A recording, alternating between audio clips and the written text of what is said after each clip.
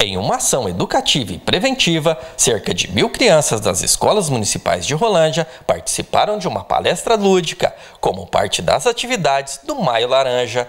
O objetivo central do evento foi identificar crianças que possam estar sofrendo abusos sexuais e orientá-las sobre como buscar ajuda de forma segura. Nós estamos aqui hoje no Nanuc com as turmas de quintos anos da Secretaria de Educação do nosso município, dando continuidade aí ao Maio Laranja.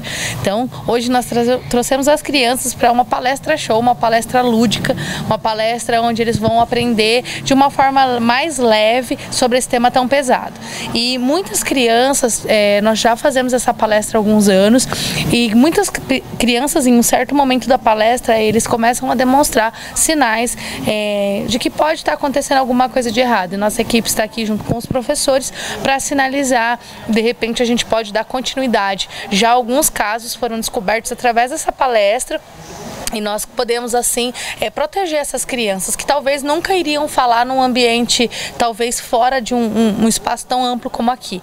E é muito importante, Tiago, é, ressaltar que nós, como adultos, precisamos proteger as nossas crianças. Então, se você vê algo de errado, alguma mudança de comportamento, algo que é, talvez não está ali no dia a dia daquela criança, fique atento, né? use os canais de denúncia. Hoje nós temos o telefone do Conselho Tutelar, nós temos o Disque 100, que você pode fazer uma denúncia totalmente anônima, mas não deixe de denunciar. Proteja as nossas crianças e adolescentes. Hoje nós estamos fazendo esse movimento para que elas também consigam se proteger, para que elas consigam proteger, proteger os amigos que talvez contem ali, confidenciem e que possam procurar um adulto, alguém, uma pessoa segura, é, para que possa fazer essa denúncia nessa palestra eles estão recebendo toda a orientação, né? Inclusive eles estão é, sabendo da história do, do, dia 18 de maio também. Verdade, verdade. É, aqui eles aprendem por que do Maio Laranja, por que do 18 de maio, que é né, realmente em alusão àquele fato terrível com a criança Araceli.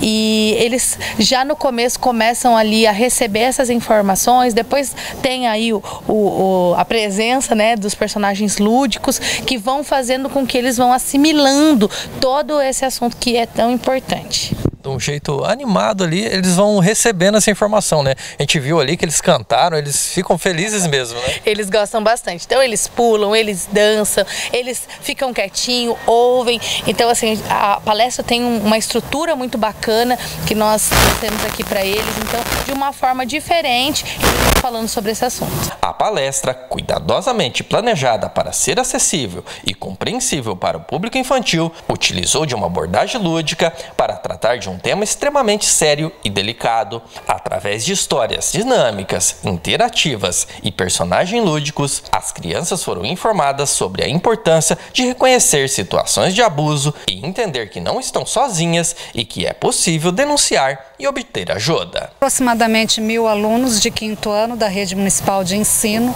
uma parceria com a assistência social nesse trabalho do Maio Laranja. É, o dia todo com palestras aí, vamos ter quatro é, tempos de palestra e a criançada aprende muito, é um momento muito importante. É, eu costumo dizer assim, é através da informação que a gente salva a vida. Então, assim, serve justamente para que eles venham a aprender, a conhecer.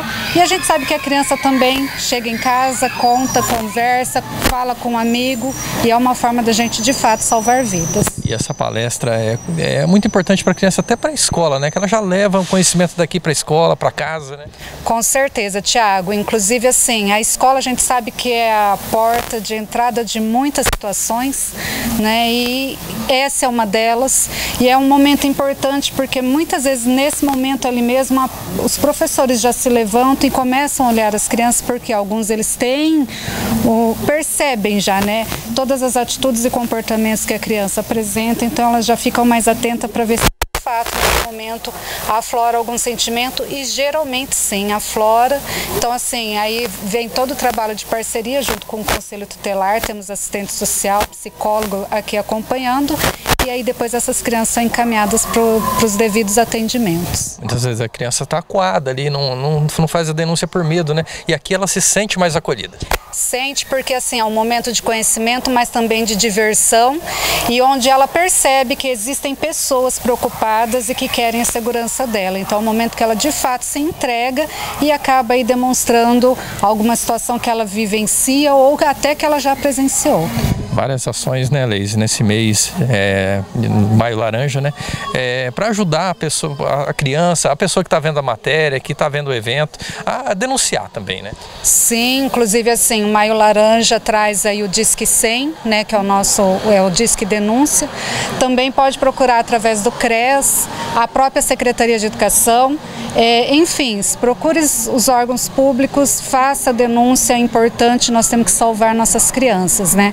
É, você pode ver aí, tem um momento de, de aprendizagem, mas também de descontração. A criança precisa do lúdico, a criança precisa ser criança.